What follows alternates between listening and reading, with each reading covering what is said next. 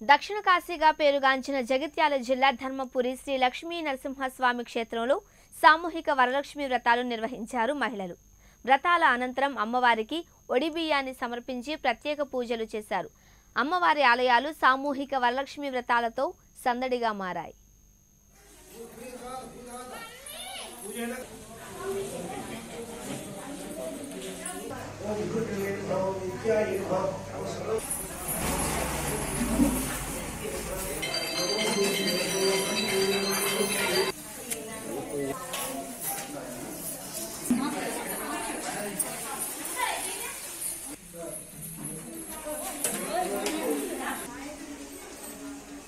ఇప్పుడు మీరు ఆల్రెడీ తెచ్చుకున్నారు కదా?